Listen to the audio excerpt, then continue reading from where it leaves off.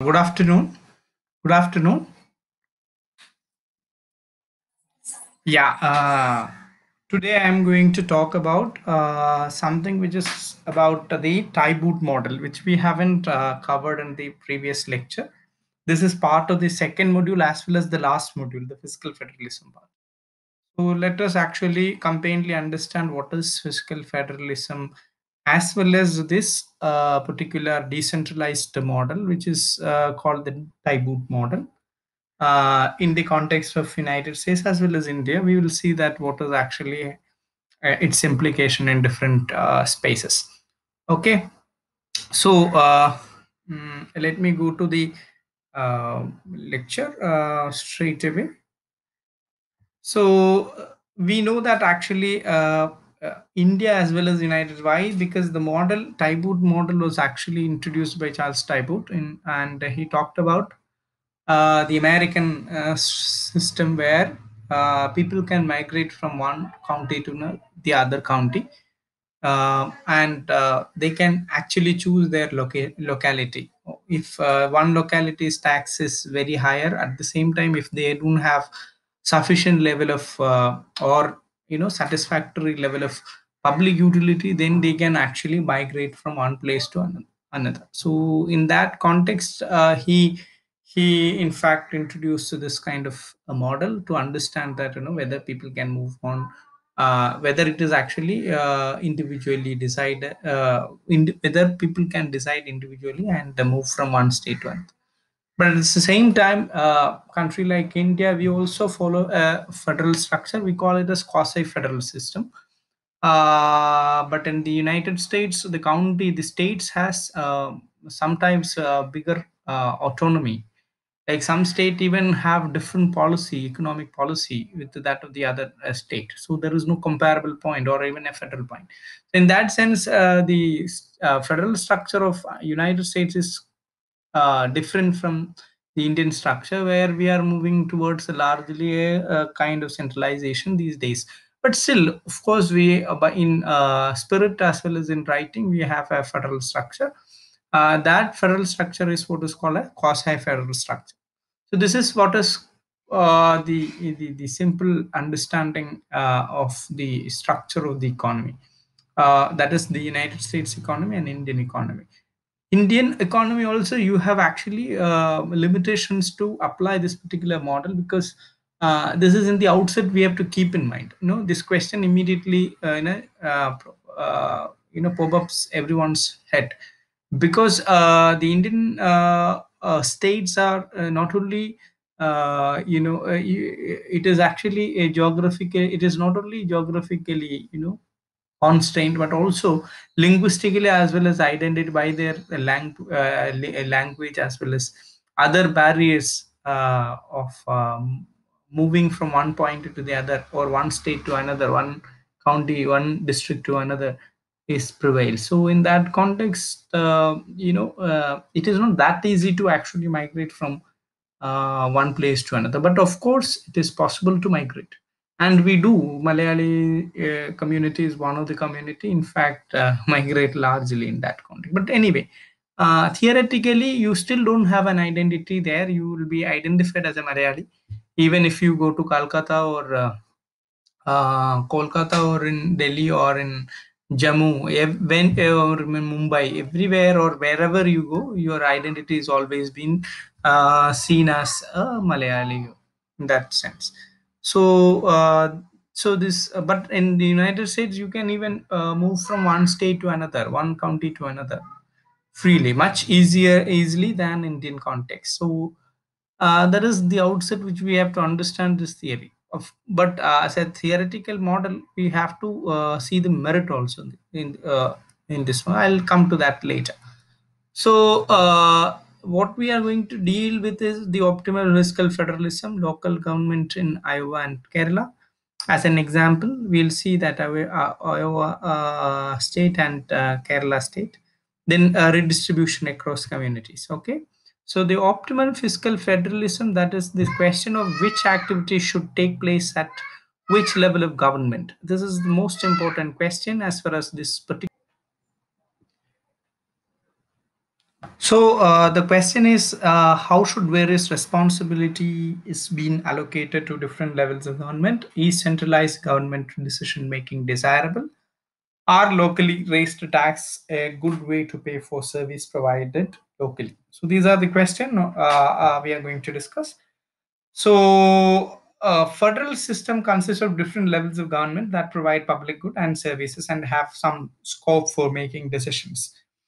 So uh, this is quite obvious. I have already pointed in the very beginning. So for, uh, fiscal federalism explores roles of uh, different levels of government and how they relate to one another. So this is what is the point uh, which we need to discuss. So distribution of all US government expenditure by level of government. So let's look into the data uh, of at least the last uh, maybe 100 years, a century.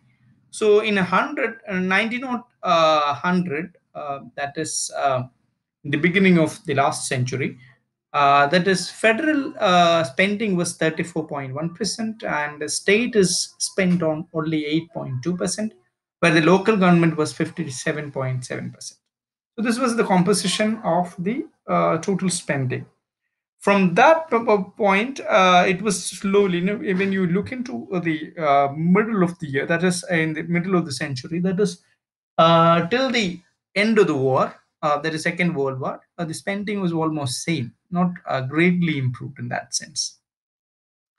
But after 1950s the spending of the state the federal spending was actually increased. At the same time the local and state government was also being uh, reallocated in that sense. So now in, uh, in the end of the uh, century, uh, the federal spending was uh, 51%, that the half of this total spending is under federal uh, government, whereas the state government spent 20.9%, which is maybe three times, or roughly two, two times, okay?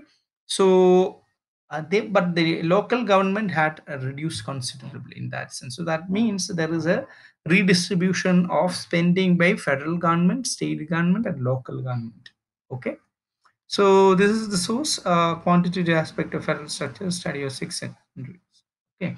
In that uh, paper, fiscal federal uh, the, the, the state level had actually no the the graph has already said and then then uh, a new uh, uh, graph says uh, not a different picture altogether. In but the federal uh, one thing which is very stark in that the federal role had increased. That is the central government's uh, the United States also the central government spending had increased considerably. This is also true in Indian context. I'll come to that uh, in a while. So there also you can see the similar picture but at the same time the state the the real allocation allocated uh, spending from the uh, um, uh, local government's point of view had improved in that sense. Of course that spending is comes to the state government and state government is actually allocate that money to local government in india. So this is what is the difference. So technically the indian case is only two government in fact spends properly that is uh, the central government and the state government. Central government spends through their own policy, the centrally sponsored schemes and other schemes, which is central character, uh, central in character. But at the same time, the state government is uh, considerably spent, and uh, they uh, part of their income has be uh, has diverted to the local government, and they do. But the uh, income generation generating capacity of the state government uh, sorry the local government is very minimal in indian. Though we have actually the um, panchayati raj act which is in fact entitles the central uh, the, the local government to uh, be a very decisive uh, player in the spending or the uh, local economy is concerned but uh, we haven't achieved that part but only the uh, devolution uh, has to come from the center or the state the current uh, scenario. So this is the difference of the uh, central uh, the indian spending with that of the united states. So subnational in that paper we have seen that the six countries they, they were talked about like um, subnational government spending and revenue share of this is the data which they were provided in that sense. So in the United States, spending is 40% in the subnational level. Uh, and the revenue is also almost 40%. So in the in the subnational level, the generate uh, the, the, the fund generation is very high in the United States. But uh, as I said, in Indian context, no comparable figure we can actually have because the uh, subnational level uh, sort of uh, income generation is very minimal in the Indian context. Therefore, it is not so you know comparable uh, country though, though, though the two states in fact two countries are in fact um, follows a uh, certain level of federalism uh, this is about the other uh, state also in, in Norway where uh, the spending is higher but the income generation is lower. This is also the case with uh, France. This is also the case with uh, Portugal, Greece and all. So then any country if you take the income generation with that of the United States is actually less than what they spend. OECD average is also the same. So OECD oil, the exporting countries, oil exporting countries, cooperation so that country is also having the similar uh, kind of trend in that sense. Uh, but as far as the uh,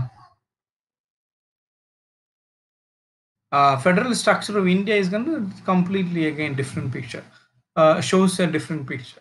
Uh, now, the higher level of centralization in other nation exists because state or local government have almost no legal power to tax citizens. So this is why uh, but in India, you, I mean, in, of course, in uh, some uh, local tax is still with the local government, but their uh, uh, power is very, very less in that. So like professional tax, or you can have also the tax like mm, entertainment tax, etc. That is only goes to the local, the very local, that is this panchayat or the block or corporation gets. So in that sense, you know, their income capacity is very limited by the legislation itself for the state or center.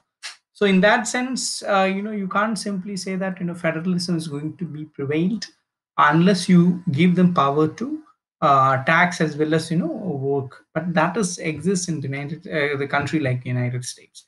So that is why I've in the beginning said that you know um, there uh, the, the autonomy of the state as well as the local bodies actually comes from not only spending uh, spending pattern but also their income generation pattern also use this sort of thing.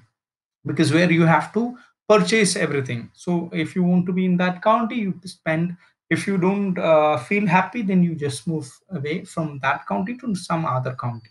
So this is what is actually the kind of uh, you know um, uh, base where um, uh, were, uh, was basically introduced this model. so many countries practices fiscal equalizations whereby the national government distribute grants to subnational government in an effort to equalize differences in wealth.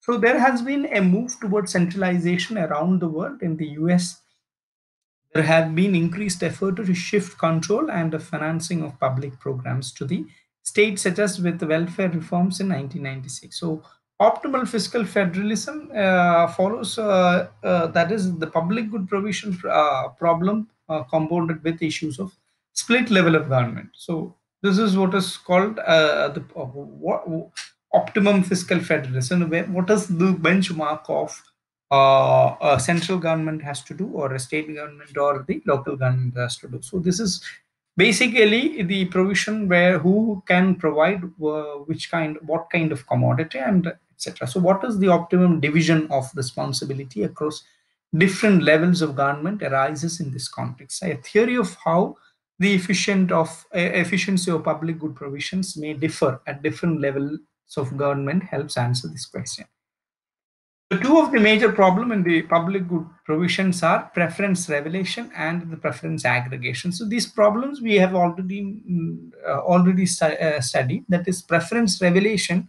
In the in the uh, in this context, uh, it is difficult to design democratic institution to cause individuals to reveal their preference honestly. So we have already seen in, in the earlier pricing or pricing of public good model Clark and Liard model and all, we have seen this problem, preference revelation issues and preference aggregation issues also another one that is difficult to aggregate individual preference into social decision. This uh, this uh, preference aggregation uh, uh issue we had uh, studied in the context of Arrow's impossibility and other uh, aggregation issues of an individual choice.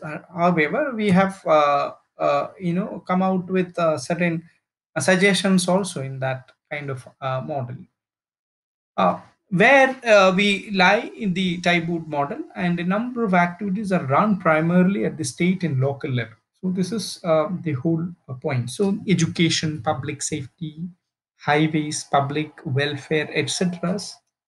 normally been laid down by the state level. Now in India also you have National Highway Authority, you have also state highway as well as district and uh, the panchayat local government uh, uh, road transportation mechanisms. And the one of the highly networked uh, road uh, mechanism is in Kerala. You, all of you know that is this per uh, square kilometer road network, um, especially the Paka roads, not Kacha road, of course, the Paka roads uh, network.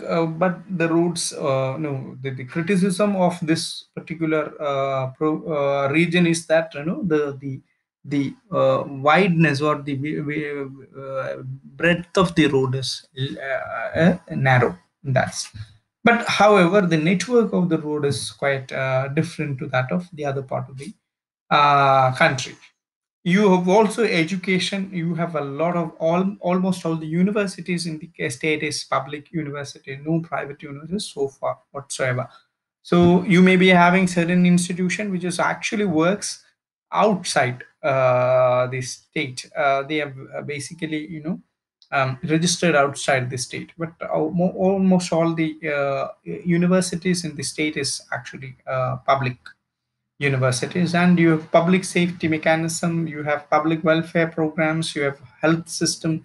These are actually locally provided in that sense. At the same time, there are there are yojanas like uh, and you have RB this. Um, um, health uh, uh, cards and other things which is in insurance uh, schemes etc in uh, which is actually operates in a national level so at this so in in in in the in in in india many things comes under the concurrent list where the central as well as the state government can actually interplay uh, or they can actually provide both the uh, i mean they can provide the goods in both the, the central uh, way as well as the state way. You have central universities at the same time. You have also state universities.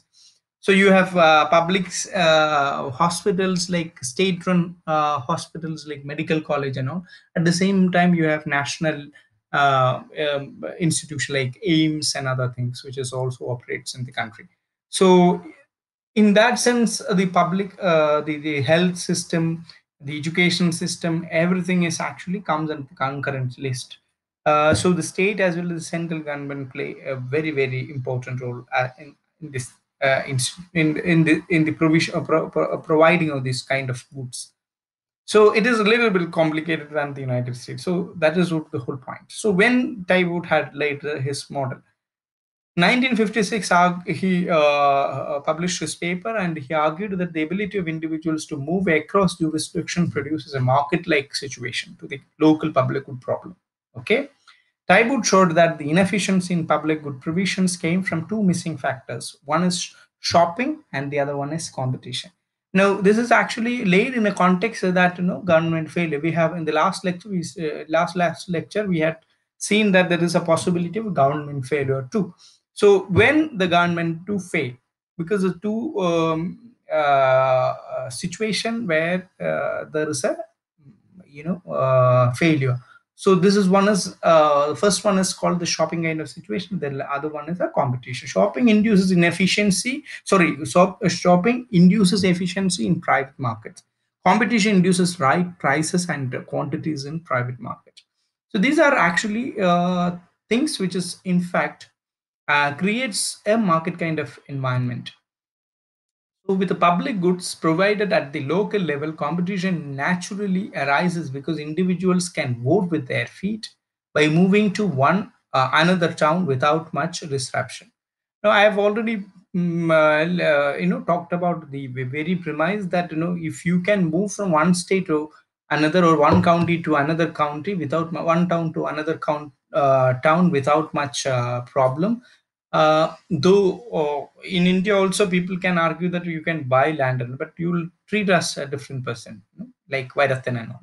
So uh, therefore uh, the if you if you don't have this kind of disruption then this model is actually uh, speaks uh, something which is very very interesting. This induces fiscal discipline for local government and creates a new preference revelation devices that is if it, it is not only actually talks about only spending side it also uh, talks about an income generation. Because you spend money uh, in many of the iowa or in any of the city which we talk is in the county which we talk where if you want to actually get a pipe connection if you want to actually have a good supply then x county may be having good supply than y county or uh, you know uh, then uh, y county may be having a better uh, hospital facility or than x county. So these are actually the options which you have. Out of this option you just uh, shop. Okay? That means you move from one one point to the another one. And you also pay for example there is a possibility in uh, united states that you know if your water supply is actually coming from the y state is very bad. So you just say that i don't actually pay from your ward i don't want to actually have a water connection from your ward so instead of that you go for an x ward which is also the adjacent to your uh, this particular county and then you can also get water. You have to pay in their residential area. So this there is a lot of actually subnationalism involved in the united states and especially they are trying to experiment with a sort of a market in that sense. You know we also uh, locally try to introduce some of this thing. I'll come to that later. So Tiebout argued that the threat of exit can induce efficiency in local public production. So if you don't provide good uh, health facility then we'll move.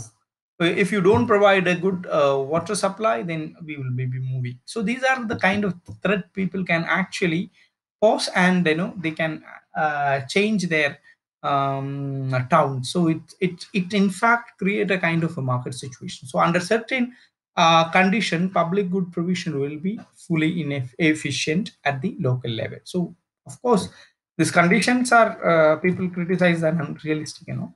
But still you know you can say that that sort of a condition if you uh, you know uh, apply then things can be good. So voting with your feet means in the Tiebout's assumption which is actually based on certain sorry Tiebout uh, uh, model is basically based on certain assumptions. So i've already mentioned. So govern what are these assumptions? Government activities generate no externality. This is absolutely you are trying to treat the public good provision as a private one. So this is uh, again people uh, uh, this is one of the uh, you know criticism people basically leveled against this model this assumption itself. So you cannot see uh, if you follow uh, the friedman's mechanism of a positive uh, economic analysis then you cannot simply criticize the assumption. Anybody can have an assumption. Whether you can have a conclusion which is a decisive conclusion or not is always a theoretical problem. So simply you criticize it as unrealistic. And people may not be agreeing. Because there are sometimes you have to uh, impose certain assumptions to make your uh, you know um, model workable. Uh, so, you, so you have to demonstrate that. So government activity in that sense it is okay. So government activity generate no externality. Individuals are completely mobile. People have prefer- perfect information with respect to each community's public service and taxes. There are enough different communities so that each individual can find one with public service meeting her demands or his demand. The cost per unit of public service is constant so that if the quantity of public uh, service doubles, the total cost also doubles. Public services are Financed by a proportional uh, property tax, community can enact exclusionary zoning laws, statutes that prohibit certain use uses of land. These are actually called the the assumptions under the uh, Tiebout model. So, uh, type, uh, uh, the criticism people had leveled against uh, this model is basically uh, um, argue because of the following reason. That is, the competition may not hold because it requires perfect mobility as the uh, assumption says. The perfect mobility is a very, very a stringent assumption as far as as far as a movement of the individuals are concerned. So we, I have already uh, mentioned about this. even though I'm able to move from one place to another, but my movement is depends on many other factor, which is, mm, you know, uh, makes my mobility, you know, temporary or, you know, uh, you know, not perfect perfect in that sense. So it requires perfect information on the benefit individual receives and the tax they pay. So this is also the transparency uh, in that sense is a very essential part, information symmetry kind of situation. Again, it is leading to a perfect competition kind of situation and it requires enough choice of towns so that individual can find right level of public good in them.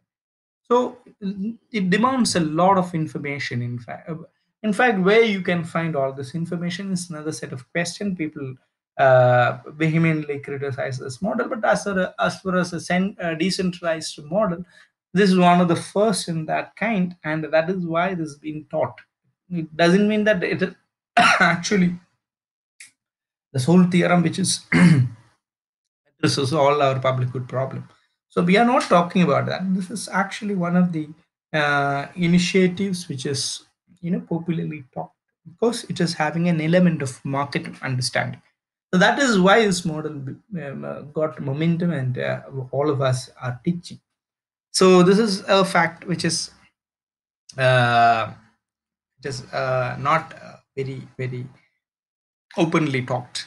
So that's it. So uh, Tiebout financing is problematic. Again another criticism was uh, just followed from the earlier competition problem.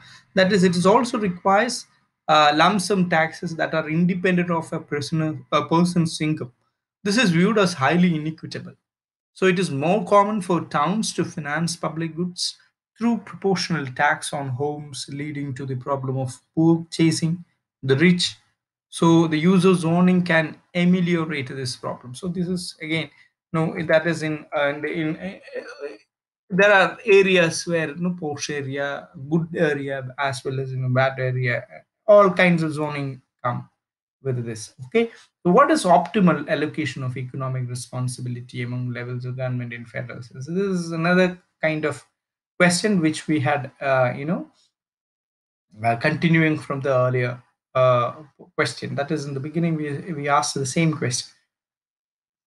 Now we'll discuss advantage and disadvantage the decentralized system. So again, uh, in the tie framework, we have already seen that uh, uh, there is always a kind of situation where people can uh, move from one place to another.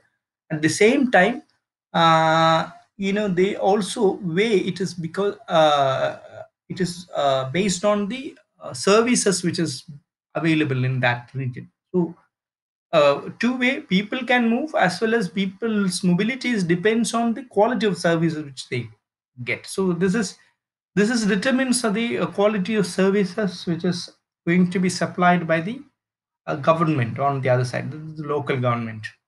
So that is actually makes a check and balance in that sense. So in that sense, it is actually uh, nice, but uh, a country like us we have in the beginning said that you know you by legislation you you can't do it. Okay? Because by legislation you can't charge. By legislation you can't charge a tax from person. uh, whether for example in in the city area of uh, whether you are uh, if you are a resident near uh, in the city Trivandrum city like uh, Kowdiar or the adjacent in Jawahar Nagar or anywhere where uh, you have a very good quality of uh, water supply electricity everything you know. You are paying the same tax than the other person. And as far as public provision is concerned. So the same corporation random corporation you pay same exactly the same. You may be having a very different residential setup but it is not actually the resident which is providing unlike the other places.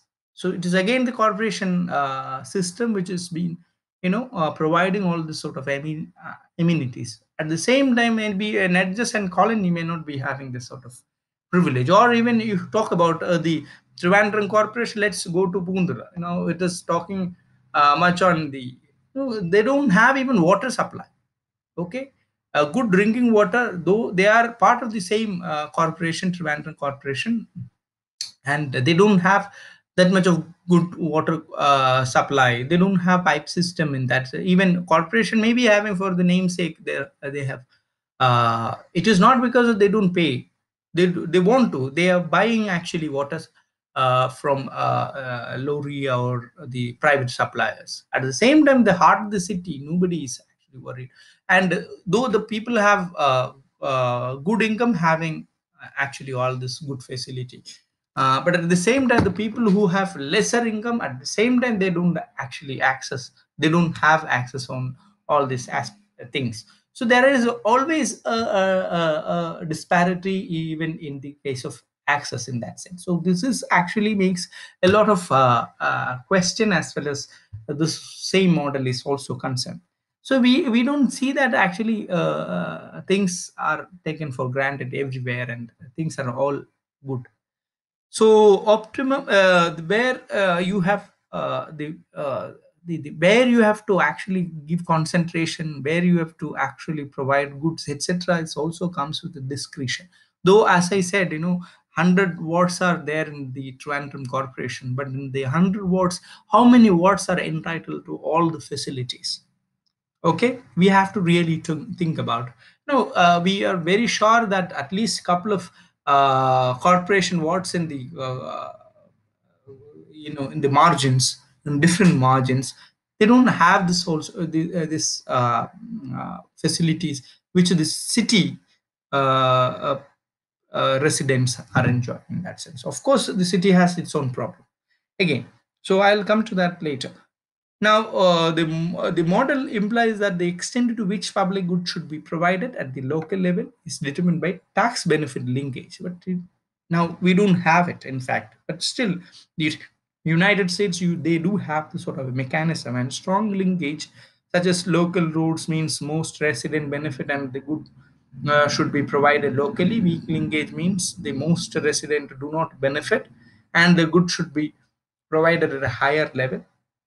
If residents can see directly the benefit they are buying with their property tax, uh, pro property tax dollar, they will be willing to pay local taxes. Otherwise, they may vote with their feet. This is what is actually the model.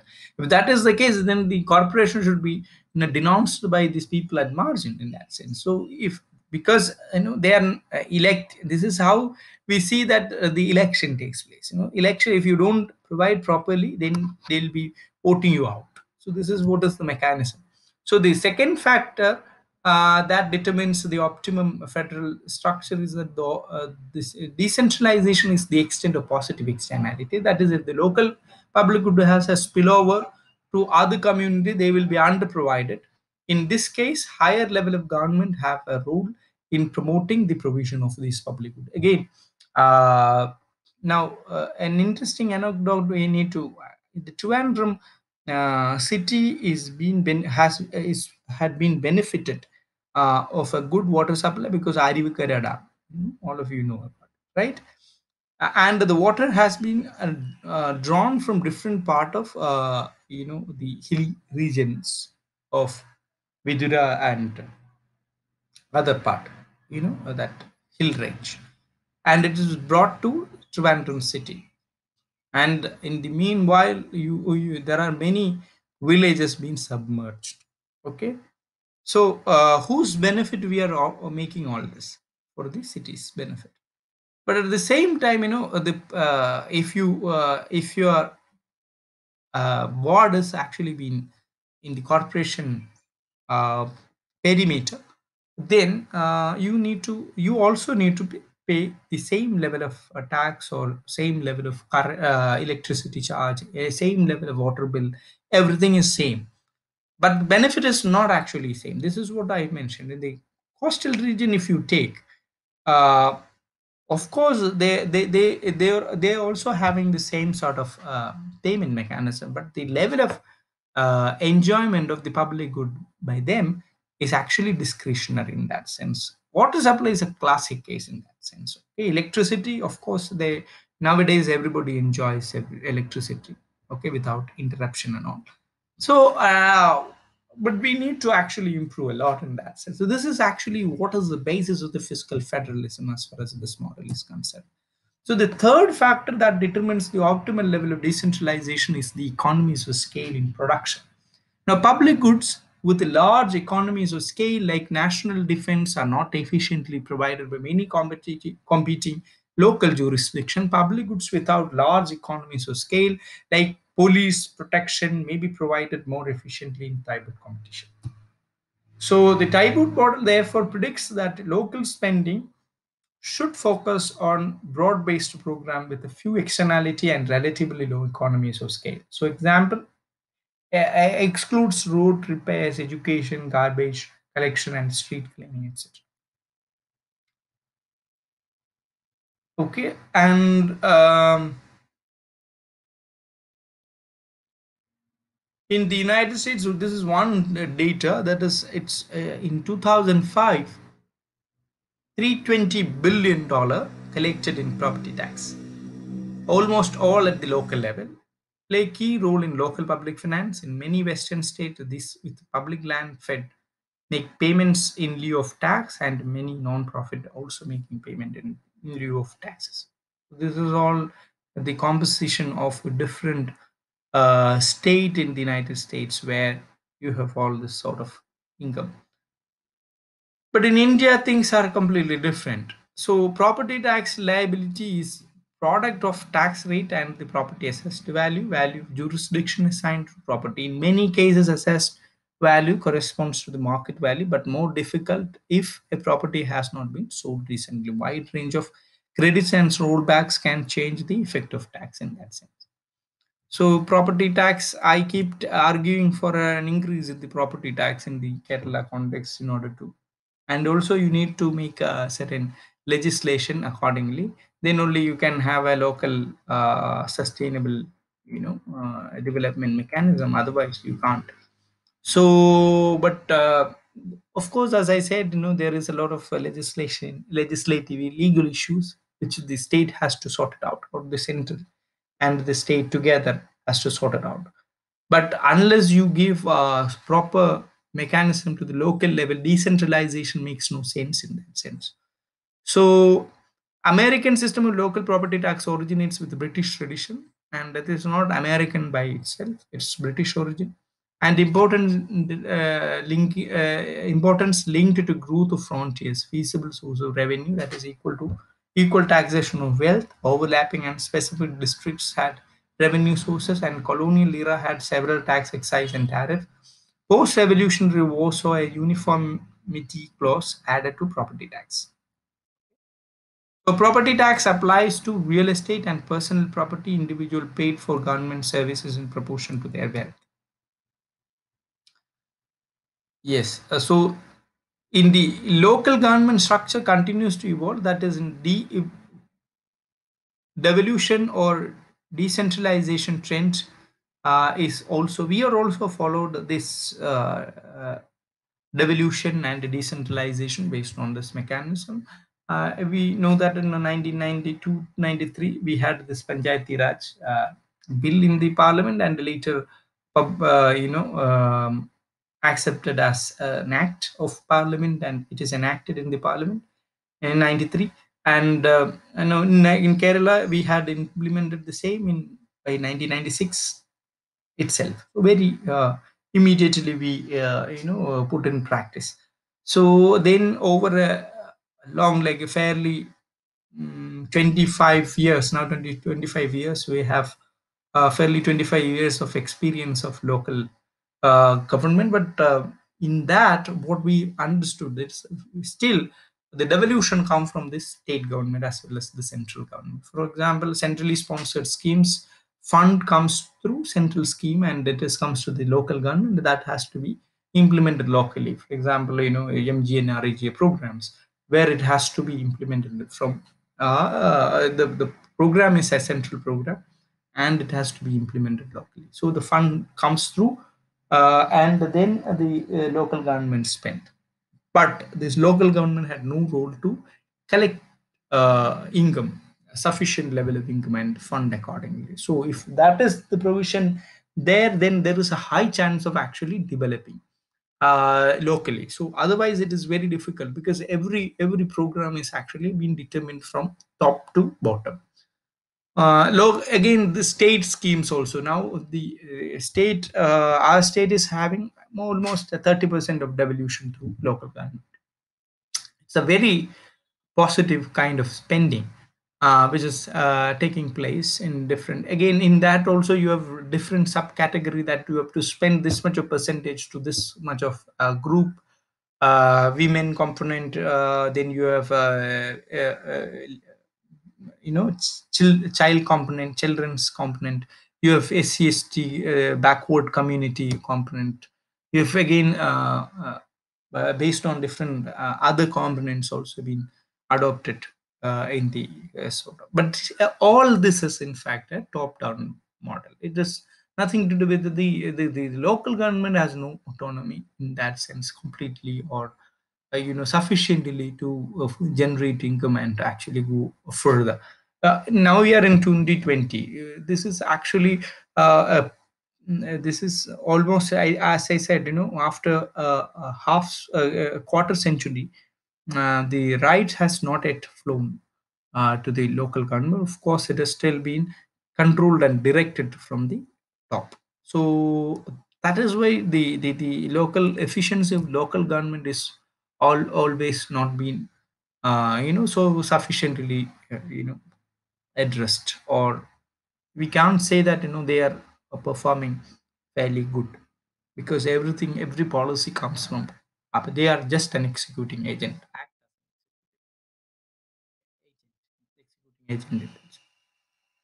So let me um, uh, conclude this uh, this portion uh, ra- now. And if you have any question you can actually uh, ask. So uh, I think uh, this brief lecture is sufficient. So thank you. Uh, if you have any question, um, you can actually shoot.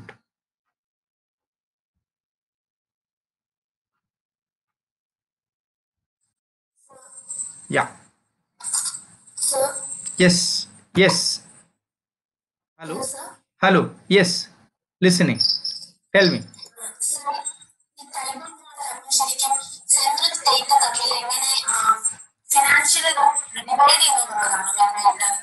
അല്ല ടൈബൂഡ് model എന്ന് പറയുന്നത് നമ്മൾ മനസ്സിലാക്കേണ്ടതെന്ന് പറഞ്ഞാൽ technique